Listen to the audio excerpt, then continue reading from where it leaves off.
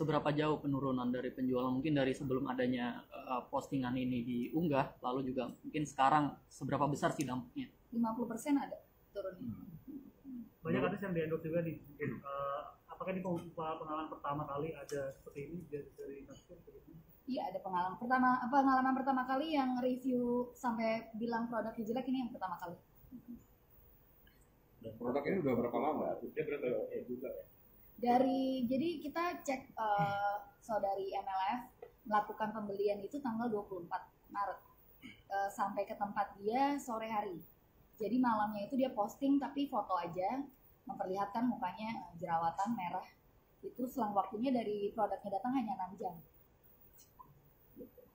Dan dia bikin video dua hari kemudian dia bilang dia mau spill itu berarti dua hari setelah produknya datang.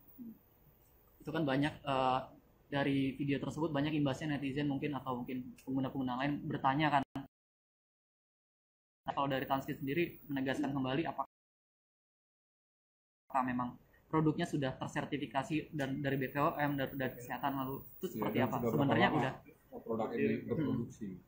Uh, kita mulai uh, launching yang seri yang pertama itu Oktober tahun lalu. Yang saudari MLF sudah semua SKU-nya sudah BPOM dan ada sertifikat halal kita juga membuka layanan konsultasi kok sebelum beli sebenarnya bisa konsultasi dulu. Kulitnya separah apa sih? Bisa ditangani nggak semua produk-produknya? Itu kita sangat welcome. Tapi kalau saudari MLF ini dia nggak pernah konsultasi dan langsung check out. Nggak pernah konsultasi. Nggak pernah konsultasi. Oh dari produk yang dibeli sama MLF ini sebenarnya ada uh, berapa jenis yang dibeli dan yang digunakan tuh apa aja? Dia beli satu paket ada empat jenis. Dia beli facial wash toner day cream night cream.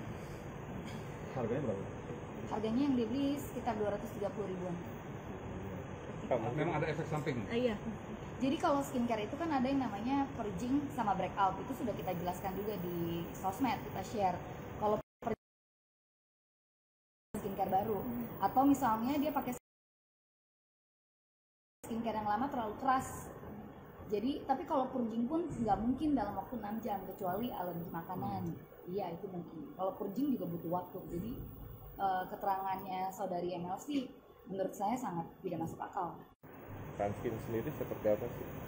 Sebenarnya kalau sekedar review kata-katanya bisa dibilang kurang cocok ya atau tidak cocok. Kalau banyak sih yang uh, kita selalu minta feedback ke customer bagaimana uh, hasilnya gitu. Mereka bilang ya sepertinya ini kurang cocok di kulit saya. Tapi kalau sampai bilang breakout disebabkan sama skincare ini, ini terlalu ini ya uh, Bang Maci ya. Yeah terlalu berlebihan ya breakoutnya sendiri separah apa sih mbak? Kalau dilihat dari fotonya dia, dia jerawatan di pipinya, hmm. jerawatan sama kemerahan. Terima kasih sudah menonton video ini. Jangan lupa subscribe dan aktifkan lonceng notifikasi supaya kamu nggak ketinggalan video terbaru dari Green.